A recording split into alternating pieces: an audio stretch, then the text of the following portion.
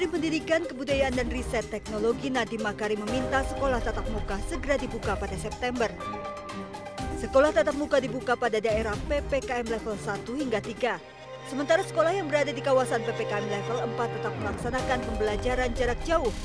63 persen sekolah yang terdata berada di kawasan PPKM level 1 hingga 3. Seluruh guru di sekolah kawasan PPKM level 1 hingga 3 yang akan melaksanakan tatap muka harus sudah divaksinasi lengkap. Siswa hanya diizinkan 50% kapasitas dengan protokol kesehatan ketat. Selain itu kantin dan kegiatan ekstrakurikuler tidak diizinkan. Berdasarkan SKB, tiga menteri sekolah wajib memberikan opsi PJJ kepada orang tua yang belum mengizinkan anaknya bersekolah tatap muka.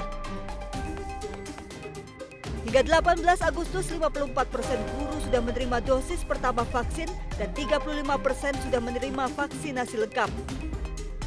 Sementara hingga 19 Agustus, 9,6 persen pelajar usia 12 hingga 17 tahun sudah menerima vaksin dosis pertama dan 4,4 persen sudah lengkap vaksinasi.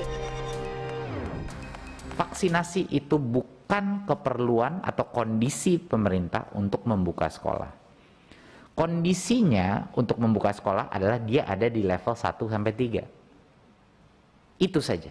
Satu level 1 dan 3 semua sekolah di level 1 dan 3 boleh melaksanakan tatap muka. Tapi vaksinasi guru menjadi kondisi untuk kewajiban membuka tatap muka. Nah, jadinya bukannya harus vaksinasi dulu baru tatap muka. Tapi kalau gurunya sudah divaksinasi, dia wajib memberikan opsi tatap muka. Namun pada vaksinasi pelajar di Madiun, Jawa Timur, Presiden Joko Widodo meminta sekolah dibuka jika seluruh pelajar sudah divaksinasi. Kita semuanya harus hati-hati, jangan sampai nanti kalau pas dibuka belajar tatap muka ada yang terpapar COVID. Ini yang harus kita hindari oleh sebab itu saya titip agar yang namanya pakai masker ini harus.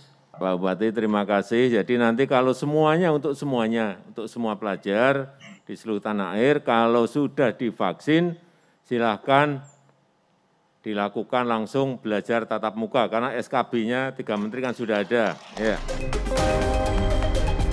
Meski sekolah tatap muka bisa dibuka namun jangan sampai lengah protokol kesehatan. Guru dan siswa harus disiplin memakai masker, mencuci tangan dengan sabun sesering mungkin dan menjaga jarak untuk mencegah munculnya klaster COVID-19 di sekolah.